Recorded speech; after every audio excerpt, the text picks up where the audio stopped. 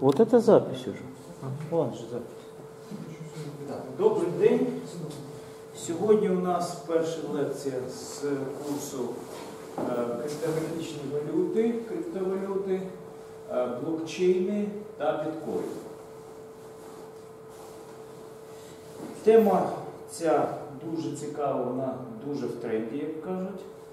Ми з вами розберемось, е, що таке, по-перше, грошові гроші, тобто дамо декілька визначень е, і дамо поняття локальної валюти, тому що без поняття локальної валюти і як визначається е, вартість валют, неможливо зрозуміти основні ідеї е, появи е, такої першої криптовалюти, як біткоін, курс якої на сьогоднішній день складає майже 16 тисяч доларів е, одного біткоїну. Е, І е, буде зрозуміло, чому частина криптовалюти, а саме один з протоколів, на якому базується криптовалюта біткоін, отримала окреме розповсюдження, окреме значення. Е, Я маю на увазі технологію блокчейн. Як вони можуть застосовуватись, де вони можуть застосовуватись, і як на технології блокчейн будувати не тільки криптовалюти, а ще й е, інтелектуальні контракти е, і в майбутньому нові технології, взагалі збереження та децентралізованої обробки даних. Тому от ми почнемо з головних ідей, потім перейдемо до е, технології блокчейн, потім е, завершимо курс наш е, біткоїнами і е, ефіром чи етеріум. Перша лекція. На цьому слайді ми бачимо, як розвивались гроші від дійсно е, взагалі-то поняття натурального обміну до появи основних функцій грошей як універсального механізму е, оцінки вартості обміну е, та ем, набуття ними таких е, властивостей грошей, як накопичення, як міра вартості.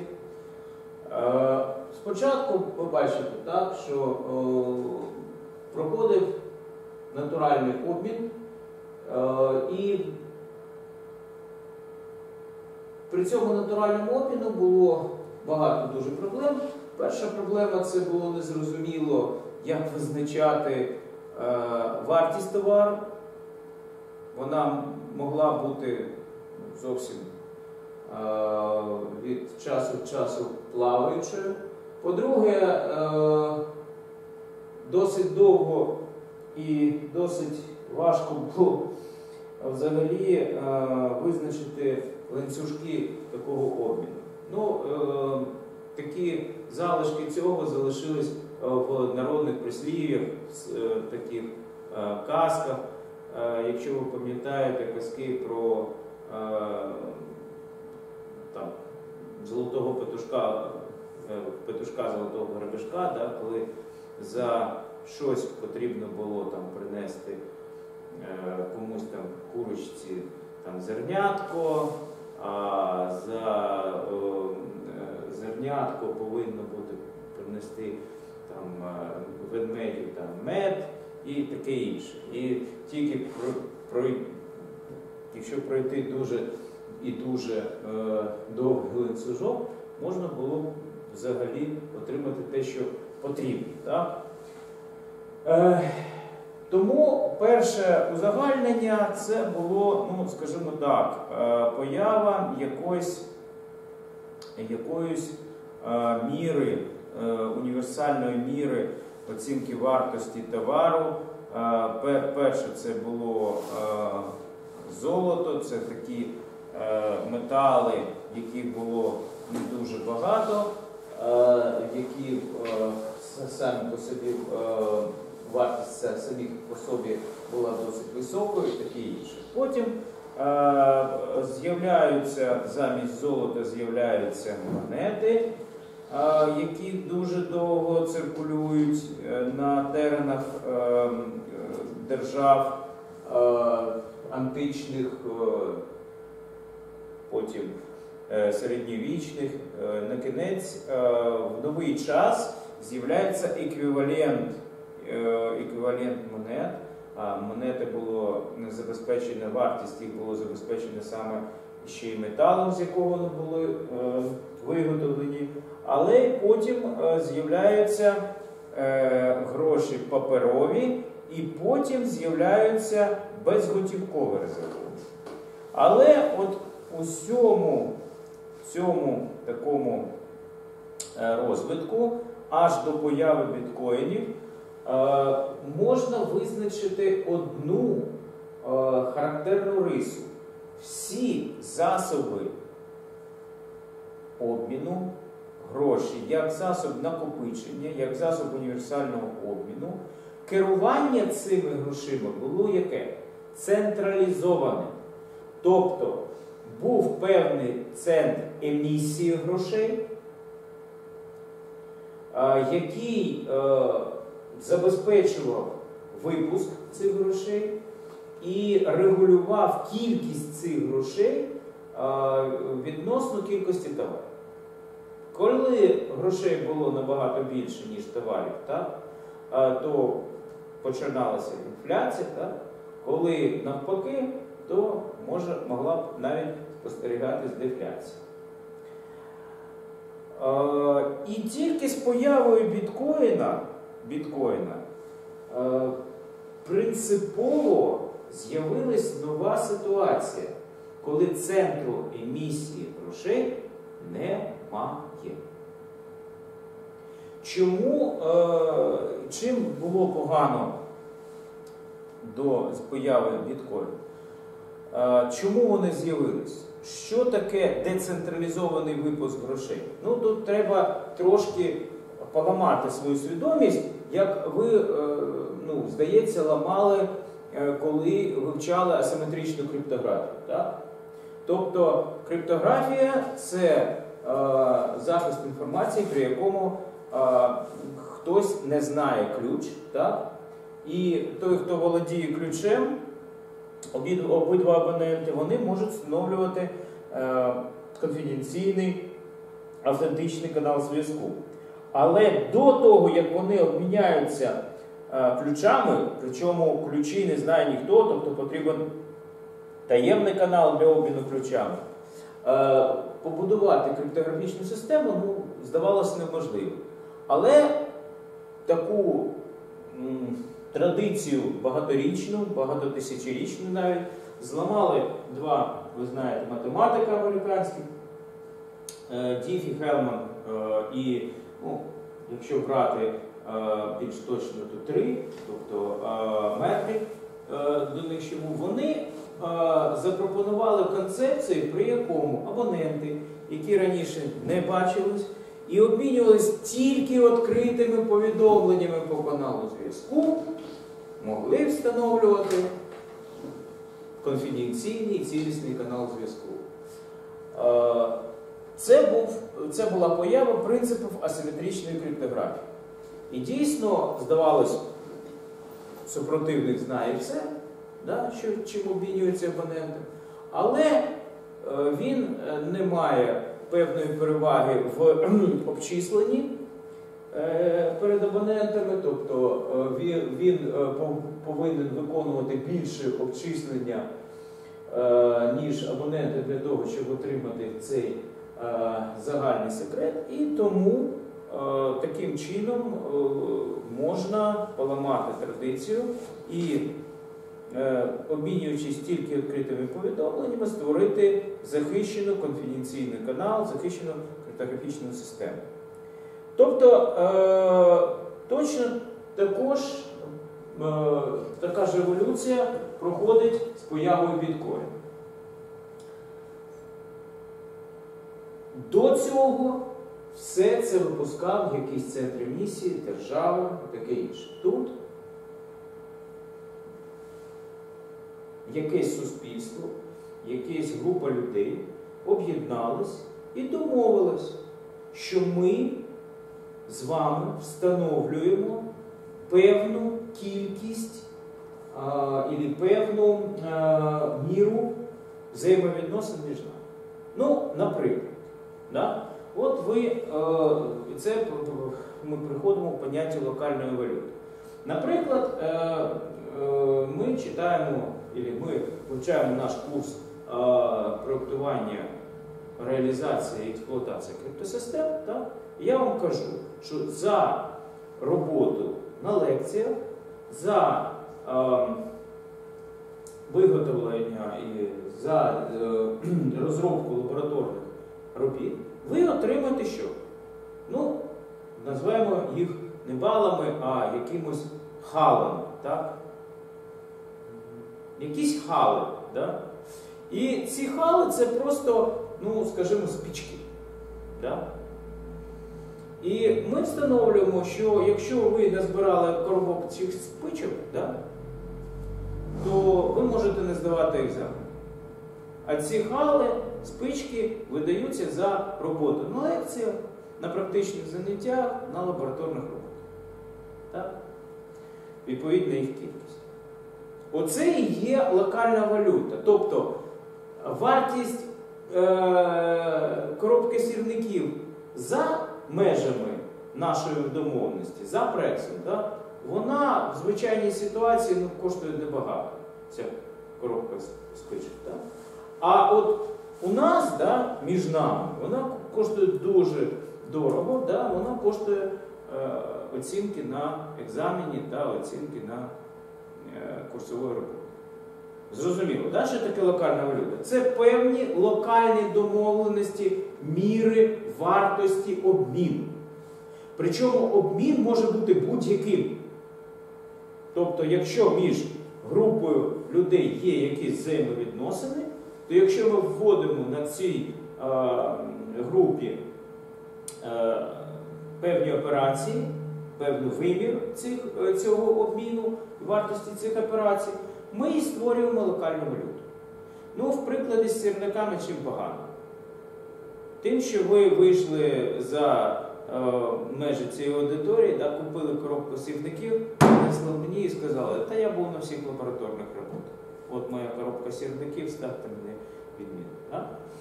І я вимушений буду, оскільки є домовленість, да, міра взаємовідносин, вимушений буду поставити. Отже, е, е, система має мати механізм захисту від таких, скажімо, да, зловживань з вашого боку, да, і з боку членів такої системи. Е, мати певний вимір е, повторної, тобто ви можете передавати спички один іншому, да? і самому слабому надарувати всі спички. Да? Вот. А саме слабе може одну і ту ж спичку пускати по кругу, вона буде використовуватись багато разів. Да? Тобто мати механізми захисту від повторної трати цієї, міри. Да? від е, несанкціонованого випуску цієї міри і таке інше. Зрозуміло, да? Тобто є у нас локальна валюта. Локальна валюта це просто вимір відносин обміну між нами. Да? І є певний захист цієї валюти. От так дійсно по такому ж принципу з'являється і е, ідея біткоїну. А звідки ж тоді брати емісію? І як же оцінювати вартість біткоїну? Ну, е, дивіться, на цьому слайді е, стисло наводиться інформація про те, е, саме про те, як в сучасному світі вимірюється вартість валют. Ну, якщо ви вивчали економіку, то ви повинні знати, що існувало практично три таких світових, золото, світових валютних систем. Перша система вона сформувалася ще до Першої е, світової війни, вона не дуже цікава, а от друга дуже цікава Бреттон-Вудська золотовалютна система. Ой, вибачте, Бреттон-Вудська система. Значить, До цього я кажу, що була е, з Першої світової е, золотовалютна система, де всі валюти визначалися і вимірювалися золотом. Тобто єдиною мірою була золотий запас країни. Після Другої світової війни зрозуміло, що така система мала певні вади, і потрібно було встановлювати інший еквівалент обміну між державами. І за е, вимір валюти е, взяли е, валюту тих країн, які менш всього постраждали від Другої світової війни. А це яка була? Які були країни? Ну, по-перше, Сполучені Штати Америки. Тобто саме тоді долар став єдиним виміром для усіх міжнародних е, розрахунків. Ще одною резервною валютою е, став е, став британський фунт стерлінг, як другою країною, яка менш всього постраждала у Другій світовій війні. Тому у такі особлива роль і долара, і фунта, вона, до речі, зберігається до сих пір. Тобто до цього часу е, ці валюти є е, особливими валютами саме тому, що е, вони були виміром обміну між державами після Другої мірової після Другої світової війни. Але в 1971 році Е, Відбулася е, така подія, що Сполучені Штати Америки відмовились обмінювати долари на золото і е, таким чином волюнтаристськи мали можливість печатати стільки доларів, скільки їм потрібно. І тоді долар практично перестав бути такою валютою, резервною валютою, якою він е, задумався е, для е, значить, е, при основі, при розробці Бреттон-Вудської системи. Як визначається вартість валюти сьогодні? Ну, Ви бачите, слайду з цього, що е, вартість валюти визначається на е, так, так, на вільному ринку Форекс е, за допомогою Тобто, в принципі, всі валюти зараз є е, ну, з цього приводу практично. Е, мають равне право, скажімо так. Тобто, якщо в якоїсь держави різко піде ВВП вверх, і якщо акції, скажімо так, цієї держави будуть різко зростати, то буде зростати вартість її валюти. Точно так же ми можемо визначити і визначається курс біткоїну. Тепер, які ж основні ідеї криптовалюти біткоін були закладені? Ну, по-перше, по-перше, було, е, щоб ви розуміли, біткоін це має всі ознаки локальної криптовалюти. Тобто е, з його появою це було засіб обміну між е, певною групою людей. Але він е, е, мав певні е, риси, які і визначили, що він став тим, чим він став зараз. По-перше, замість грошей, е, ті, що, то, що я казав, е, є реєстр, реєстр, ну, є таке поняття е, в економіці, як векселя. Тобто реєстр е, боржників. Хто кому винен. Тобто замість от таких реальних грошей це реєстр. Тобто, бачите, да? там записи такі, що Петя винен тому-то стільки-то, тот-то винен тому-то стільки-то і таке інше. Друге, цей реєстр зберігається не десь централізовано, а у всіх користувачів системи. І на кінець третє, анонімність платежів, отримання і децентралізований випуск грошей. Тобто гроші випускаються під час роботи самої системи в протоколі. Тобто під час виконання протоколу. І е, цей протокол є криптографічним протоколом. От такі три риси. Ну тут е, для того, щоб трошки е, так сказати, навести цікавих фактів, для того, щоб е, звернути вашу увагу. По-перше, це біткоін, перша валюта у 2009 році. Да, на сьогодні є курс, бачите, 15 е, тисяч 958 доларів. І зараз е, вартість е, отої піци, да, самої коштовної піци в світі, вона зараз коштує практично 160 мільйонів доларів. От вам і піца. Е, Цей приклад наочно демонструє відносність грошей взагалі і курсу їх, і вартість біткоїну, зокрема. Гроші, вартість грошей не більше вартості тієї бумаги, на якій вони існують. А вартість електронних грошей, біткоїна, да, який представляється просто записом, цифрою, інформацією в чистому вигляді, він не вищий вартості тих засобів збереження, де він, вони зберігаються. Тому оце повинно теж ви повинні усвідомлювати для того, щоб ми пішли далі. Тепер е, дуже часто, коли е, кажуть е, про біткоін,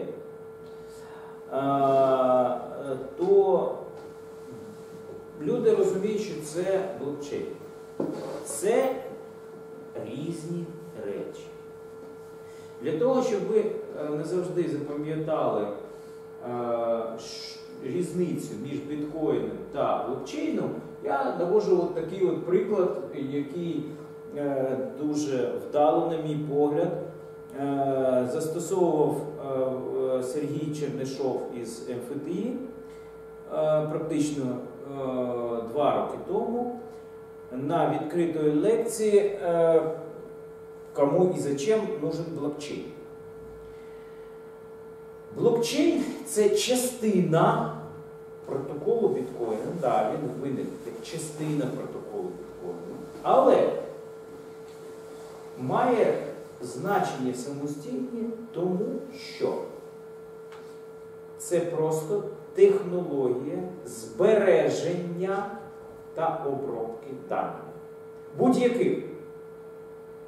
Тобто е, дані храня, е, зберігаються в розподіленій системі.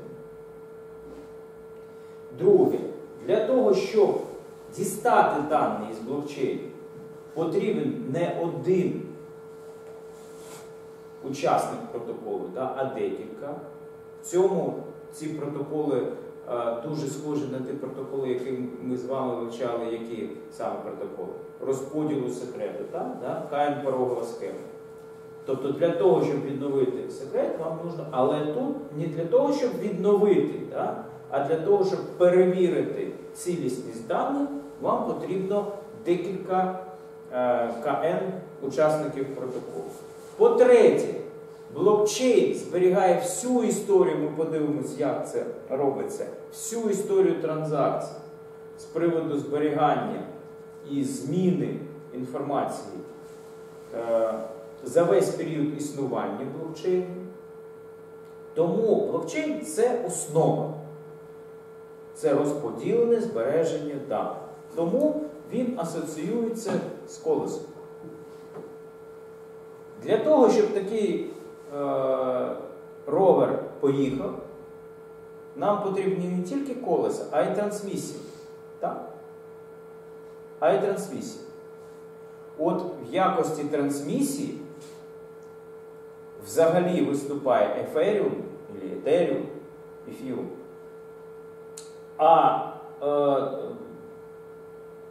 як часткове, е, частковий вигляд або частковий вид е, Етеріума це є біткоін. І е, взагалі біткоін це е, от, таке саме поняття, як енергія, інформація, таке інше, на, на тим же принципах. Тому деякі дослідники е, вважають, і це, скажімо так, е, не фантастика, що в майбутньому в майбутньому е, дуже багато технологій обробки інформації, в тому числі обробка фінансової інформації, фінтек, обробка інформації, яка потребує е, довгого зберігання і е, зберігання історії змін цієї інформації. Історії транзакцій, будь-яких транзакцій з цією інформацією, вона за блокчейнами біткоін. І навіть, бачите, з'являється такий стек протоколів, стек протоколів е, на кшалт ISO 7498, е, який е, має в основі своєї біткоін блокчейн. Ну, давайте перейдемо до детального аналізу цих технологій. Ми будемо робити перерву чи ні? Чи блоком, а потім добре, між парами. І так, в біткоїні, почнемо з біткоїну, потім перейдемо в блокчейну, так буде правильніше, тому що як я вже казав, що практично блокчейн отримав широкий розвиток після появи біткоїну. Є три основи. Перше, що є криптографічною основою? Криптографічною основою є перше. Це Identity-Based асиметрична криптосистема. Нагадаю, що Identity-Based криптографічні системи це системи, які не потребують для своєї роботи інфраструктури відкритих ключів. Ну, а мережа принципово анонімна, мережа принципово децентралізована, тому дійсно потрібно ідентифікувати. Друге, е, блокчейн і е, деяка одностороння функція, теорія односторонніх функцій, яка буде е, базою для алгоритмів консенсусу, алгоритмів узгодження, які теж є одною з основою технології біткоін. Ну, нагадаю ще раз, що таке Identity-Based е, Public Key. Е, це е, фактично, ну тут є така картинка, що для того, щоб використовувати конфіденційний захищений канал, Еліс і ПОП мають доступ до правідки, е, довіреного правідки генератора, який е, генерує їх е, ключі підпису із урахуванням, із урахуванням самого ідентифікатора Еліс чи БОП. Таким чином, що відкритий ключ практично да, можна однозначно зв'язати з ідентифікатором абонента, які застосовуються в системі. Цей е, підхід був запропонований вперше Аді Шаміром у 1984 році, але він дав тільки ідею системи, ідею системи. А практично перші реалізації було, були е, запропоновані Сакай 2000 рік і Боне Франклін 2001 рік. Друга основа біткоїна це фінансова. Про фінансову основу ми вже поговорили. Да?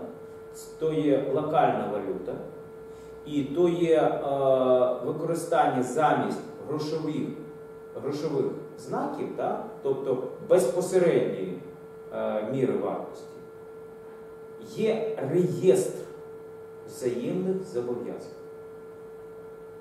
Тобто біткоін сам по собі, як валюта, як ну, номінал, як е, там е, купюра там, 3, 5, 7 біткоїнів, він, не існує. Біткоін це ваш баланс між вашим е, дебітом та кредитом. Зрозуміло, так? Якщо ви десь взяли, наприклад, е, різниця в чому, якщо ви десь взяли кредит, да, і у вас там на кредиті там, 500 тисяч доларів, да, а е, ваших е, е, тобто перед вами вам винні інші там, наприклад, 200 тисяч доларів, так, то у вас рахунок мінус 300 тисяч доларів на сьогодні. Так? І е, точно так же біткоїни да, це не конкретна сума, да, яка у вас десь там лежить, там, а це по всьому реєстру да, сума ваших плюсів і мінусів. Зрозуміло теж, так? Да? Це децентралізована платіжна система, як ми вже казали. Це платіжна система, яка має саморегулювання, і це анонімна платіжна система. І на кінець третя основа біткоїна, третя основа біткоїна це протокол узгодження, або це технологічна основа. Технологічна основа біткоїна, е, саме біткоїна, основана на обчисленні е, односпрямованої функції. Е, а саме обчислення значення прообразу хеш-функції з конкретним, з конкретним значенням. Для того, щоб ця оцінка була, е, ми подивимося, як це робиться е, в деталях, але Е, з точки зору ідеї, для того, щоб ця оцінка була не покращувальна, постійно змінюється деякий поріг обчислювальної стійкості. Е, раз е, робиться це раз в два тижні і існує для того, щоб протокол е, узгодження працював, надійно працював, е, так званий механізм майна або здобувача е, біткоїнів, який ми з вами теж будемо детально вивчати. І також є фіксування порога, тобто кількості всіх монет. Тобто в біткоїні більше визначеного значення монет бути не може. Теж подивимось почу. Теж е, подивимось почу. І так, переходимо до деталей, переходимо до блокчейну. Е, блокчейн це технології збереження і забезпечення доказу правильності ланцюга транзакцій. Для того, щоб перевірку е, е, цього ланцюга транзакцій можливо, було здійснювати всім користувачам незалежно від їх е, обчислювальних можливостей, е, ми застосовуємо е, специфічну технологію, е, подібну тому, яка використовується механізмом timestamping, це доказ послідовності подій, заснованих на е, так званих е, деревах мертвих. Що таке дерево мертве? От дивіться. Значить, Дерево мертвя це у нас є так званий е, хеш список, в якому е, ланцюг блоків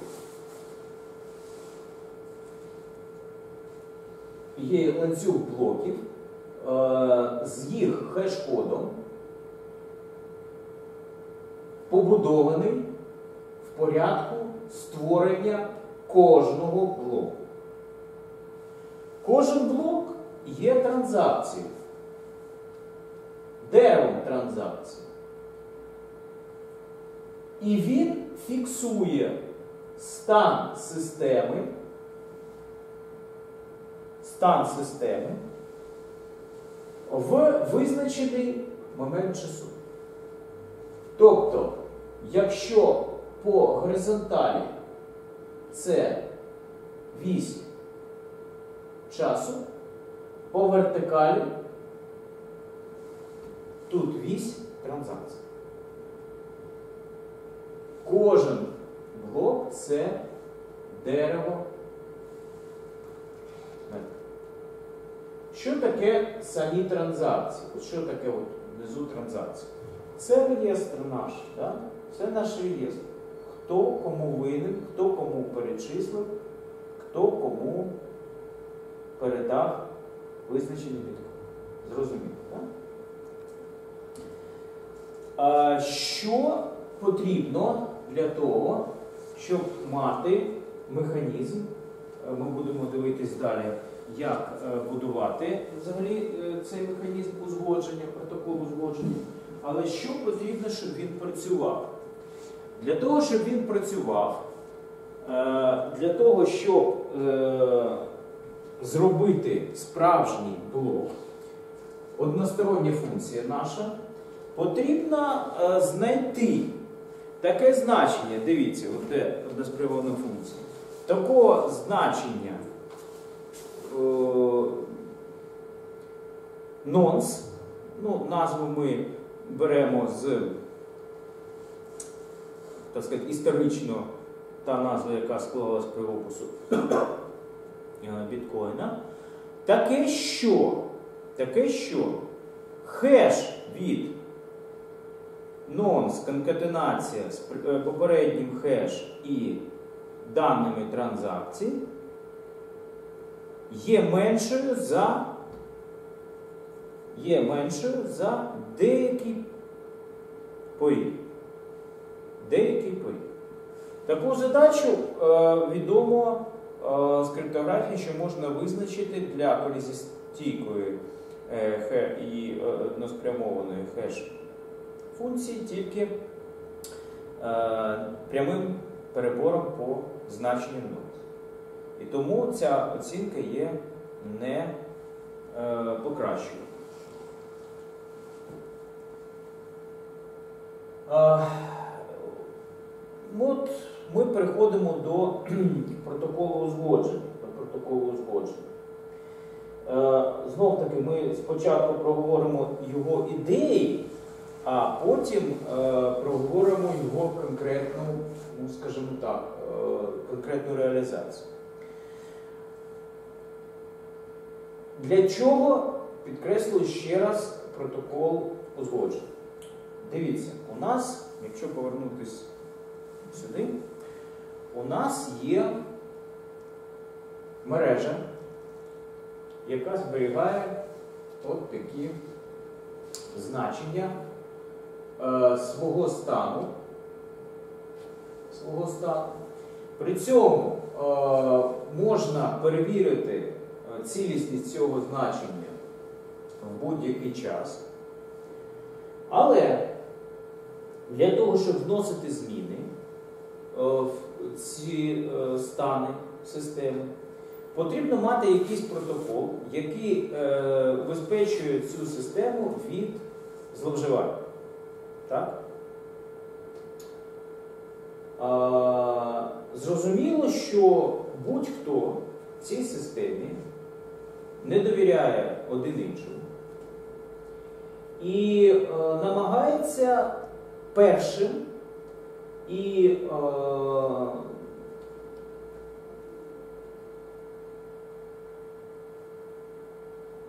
зробити таку транзакцію, е, яку б е, було вигідно йому да?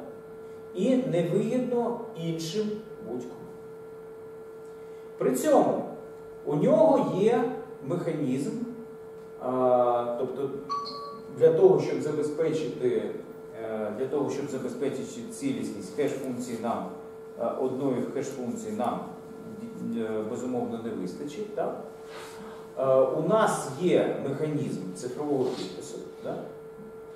І будь-хто може перевірити, що цю транзакцію зробив я. Так? Тобто обманути таким чином, е, щоб я обманув, а потім відказався від цієї транзакції, да? ну, зробити неможливо. Да? Тому що тут же всі викриють мене як е, кривдника, тому що у кожного є мій відкритий ключ, да? який однозначно пов'язаний з чим? З моїм ідентифікатором, да? і тому не потрібно третьої довіреної сторони, щоб сказати, що це я, це я. Да? Тобто ключ пов'язаний з ідентифікатором. Я забезпечую цілісність і е, неспростованість транзакцій тим, що я підписую ці транзакції. Зрозуміло, так? Да?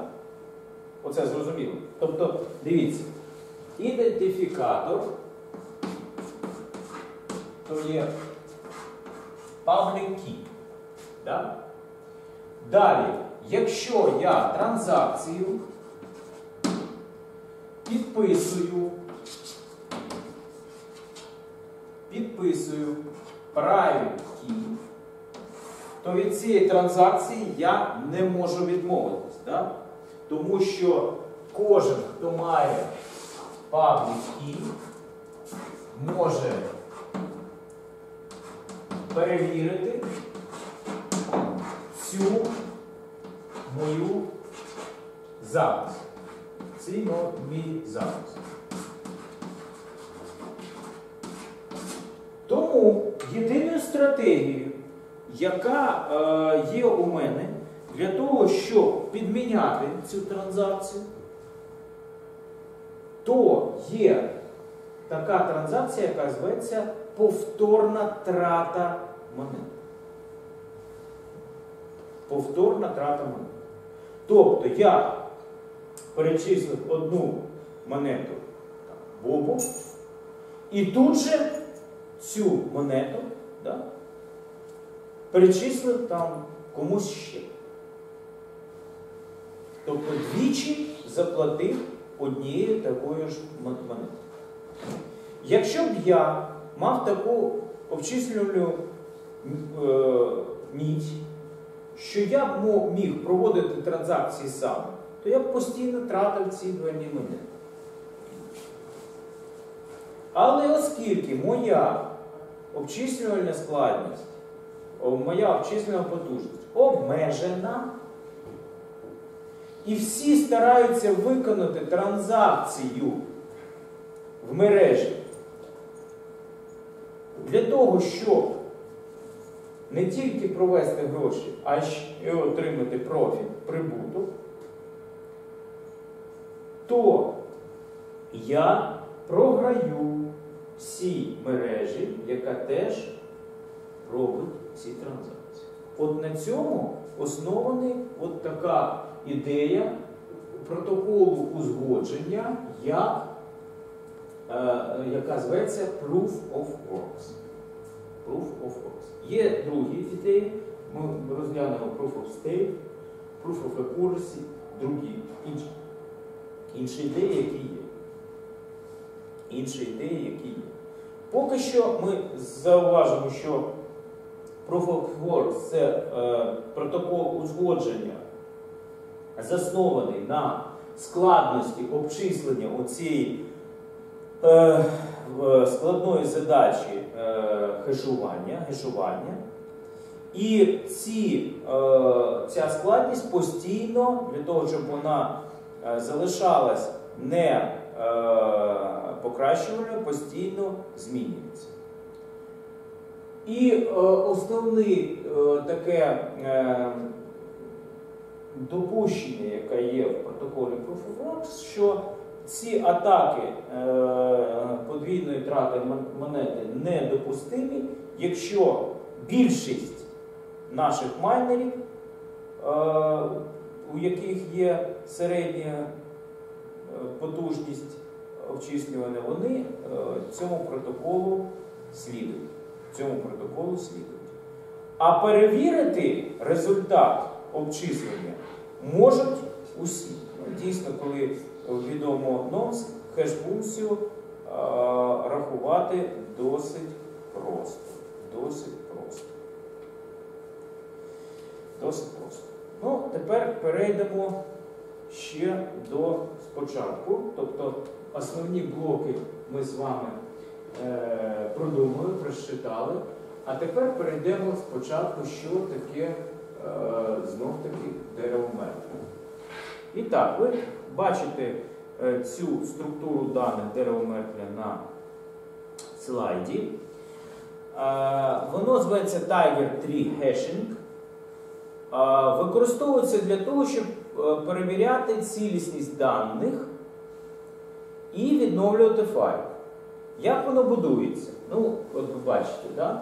що всі дані поділяються на маленькі частинки, блоки, кожен з яких індивідуально хешується.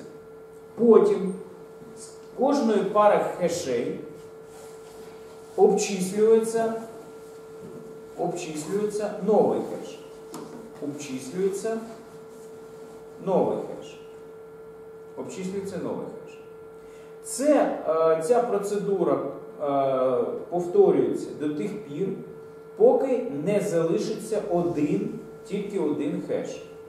Цей е, один єдиний хеш, що залишився, він зветься Tiger Tree Root. І може використовуватись для однозначної ідентифікації всього дерева. Однозначної ідентифікації всього дерева. Ну, тут ще раз приводиться для цього е, визначення блокчейна. От, це ми вже проговорили. І йдемо далі к розумінню, тобто розуміння е, протоколу до його формального опису е, узгодження е, на базі принципів Proof of Works досить складне. Тому ми підійдемо такими до нього невеличкими шажками. Е, перший шажок, щоб ви е, все у вас вже було як, е, скажімо, на основі підсвідомості, що перше це децентралізована система. Раз. По-друге, всі учасники або ті, хто забезпечують роботу мережі, повинні виконувати транзакції. Тобто на їх плечах лежать, їх ще лицарі, да? на їх плечах лежать а, робота блокчейну і біткоїна в цілому. А, Головною проблемою, бачите, є повторна трата монет. Е, давайте згадаємо, як е, ми е, з вами розбирали повторну трату монети протоколі електронних грошей ШАУ. Пам'ятаєте? Там, де є сліпий цифровий підпис. Там повторну трату монети хто е, міг е, викривати і забезпечувати, щоб не було. Банк довірена сторона. Тут банка немає.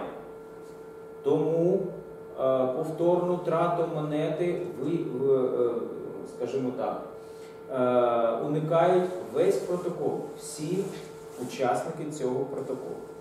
Як це відбувається? Перше, що це е, ланцюжок блоків транзакцій для перевірки правильності транзакцій раніше не існував. Як це перевірити? Це перевірити по тим е, корнівим root сертифікатам, да? не, сертифікатам, вибачте, root хеш, оцій, який зветься е, internal tiger hash, да? що ця цепочка є унікальною. Тепер транзакція ця повинна була підтверджена багатьма користувачами системи. Скільки? Наскільки багато їх потрібно? В теорії кажуть, що якщо обманюють при перевірці транзакцій повторної драти монети, хоча 51%, то такий протокол не працює. Але на практиці, за рахунок того адаптивної зміни оцих всіх величин, що використовуються в біткоїні, цей е, теоретичний поріг, яка називається задача візантійських генералів, ми з вами розберемось, в чому там е, дійсно є. Е,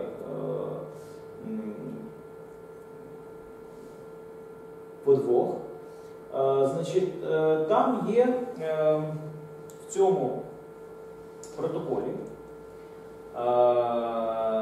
доведено, що навіть якщо хоча б одна третина генералів була, ведуть себе не так, як заявляють, то такий протокол теж не працює.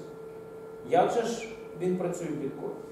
В біткоїні він працює за, за рахунок зміни, адаптивної зміни у тих причин, яких ми з вами вже розглядали.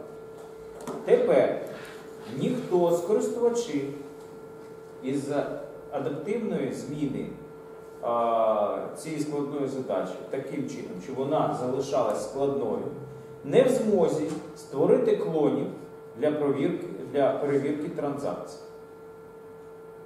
для перевірки транзакцій.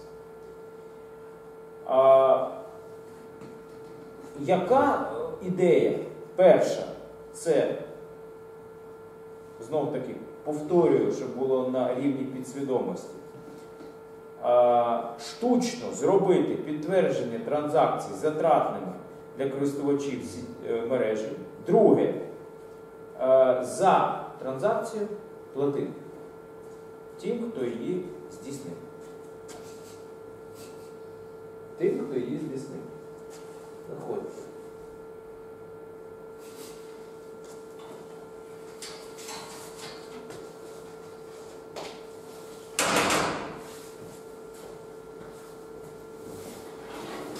З'являється поняття майнеру. З'являється поняття майнеру. Що відбувається, е, коли генерується послідовність блоків? Коли майнер успішно згенерував блок, що це означає? Це означає, що хеш цього блоку менше заданого уровня складності, і він відправляє цей блок в мережу. У випадку, коли інший майнер бачить, що блок є коректним, і саме головне, що це останній блок, що це сама е, довга е, це е, мережа блоків, тобто цей блок не повторювався, да, не існував раніше. Він переключається на неї, і мережа рахує, що це є справжнім блоком. І далі вона працює вже справжнім блоком. Наявність е, такого блока в мережі підтверджує, що нові згенеровані средств, е, еті, е, кошти, да, кошти, і комісії від цих коштів е, перераховуються на відповідний е, адрес мережі. Тобто майнер отримує винагороду. От на е, цій блоксимі представлена е, схема прийняття блоку. Цей створений блок буде прийнятий іншими користувачами мережі, якщо значення хешу заголовку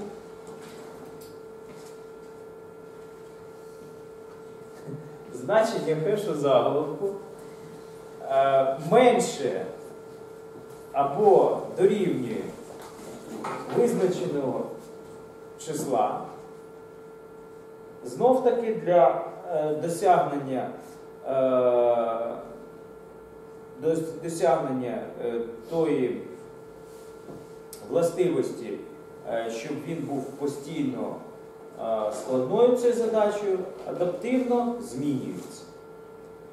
Адаптивно змінюється. Ну і тут ще раз підкреслюючи, що той та хеш-функція США 256, яка використовується там, вона є односпрямованою, немає алгоритму визначення прообразу та немає алгоритму е, визначення колізії, крім е, просто перебору по ключам.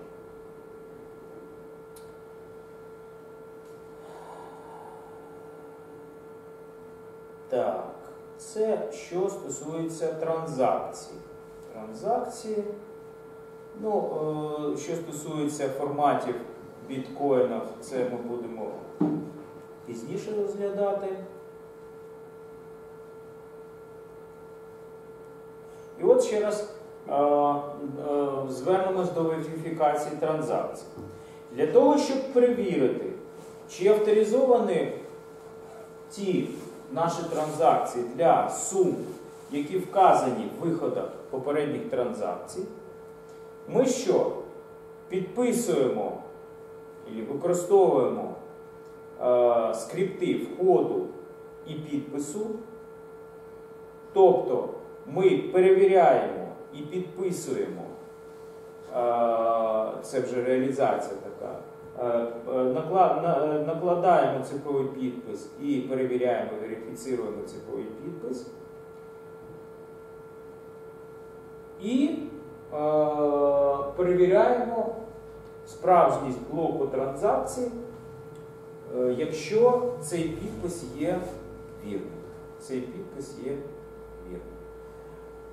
Для кожного входу транзакції ви бачите, от є такий формат, але ми будемо розглядати е, формати входу і виходу на наступній лекції, коли після того, якщо ми е, після того, коли ми розглянемо е, е, математичну модель протоколу узгодження Proof of Works, так?